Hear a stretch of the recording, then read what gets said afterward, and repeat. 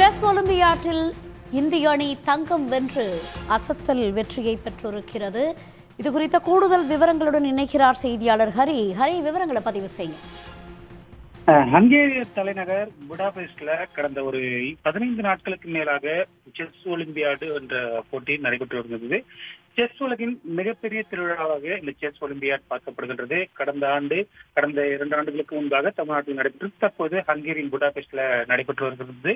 இதுல இந்தியா முதல் முறையாக அதாவது இதுவரை நாற்பத்தி ஐந்து ஒலிம்பியாட் போட்டிகள் நடைபெற்றிருக்கக்கூடிய நிலையில இந்தியா முதல் முறையாக தங்கப்பதக்கம் வென்று வரலாற்று சாதனையை பதிவு செய்திருக்கு. இந்திய அணியில தமிழக வீரர்கள் குகேஷ் பிரக்ஞானந்தாவும் மற்றும் அர்ஜுன் கரிகேசி விஜித் குஜராத்தி ஆகியோரும் ஹரிகிருஷ்ணன் ஆகியோர் மொத்தம் ஐந்து பேர் கொண்ட அணி இந்திய அணி களமிறங்கியது குறிப்பாக மொத்தம் பதினோரு சுற்றுகள் இந்த செஸ் ஒலிம்பியாட்ல விளையாடப்படும். ஒவ்வொரு சுற்றிலுமேயே வெற்றி பெறும் அணிகளுக்கு புள்ளிகளின் அடிப்படையில ஒட்டுமொத்தமாக பதினோரு சுற்றுகள் முடிவுல எந்த அணி அதிக புள்ளிகளை பெற்றதோ அந்த அணி ஒளி வெற்றி பெற்றதாக தங்கப்பதக்கம் பெற்றதாக அறிவிக்கப்படும். இரண்டாவது இடத்தை பெற்ற அணி வெள்ளி பதக்கம் மூன்றாவது இடத்தை பெற்ற அணிக்கு வெண்கல பதக்கமும் வழங்கப்படும்.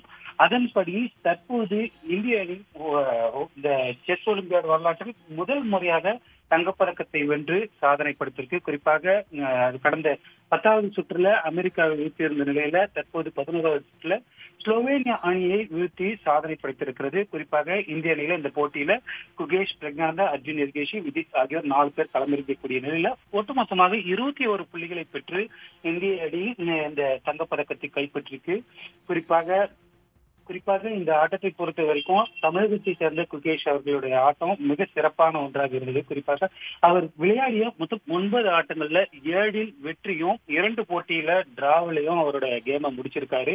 கிட்டத்தட்ட ஒரு தோல்விகள் கொடுக்கறாமல இந்திய அணி வெற்றிக்கு மிக முக்கியமான பங்காற்றிருக்காரு. வருகின்ற நவம்பர்ல உலக செஸ் சாம்பியன் போட்டி நடைபெற இருக்கக்கூடிய ஒரு சூழல்ல ஒரு தோல்வியை கூட பெறாமல் அவர் முடித்திருப்பது மிக முக்கியமான ஒன்று. சீனாவுக்கு எதிராக அவர் விளையாடிய விளையாடிய ஆட்ட விதம் இந்த செஸ் ஒலிம்பியாட்ல முக்கியமாக பார்க்கப்படுகின்றது. கடந்த கடந்த இரண்டு ஆண்டுகளுக்கு முன்பு தமிழகத்துல மாமல்லபுரத்தில் நடைபெற்ற செஸ் ஒலிம்பியாட் போட்டியில இந்திய அணி வெண்கலப் பதக்கம் வென்றிருக்கக்கூடிய நிலையில தற்போது தங்கப்பதக்கம் வென்றிருப்பது மிக முக்கியத்துவம் வாய்ந்ததாக பார்க்கப்படுகின்றது.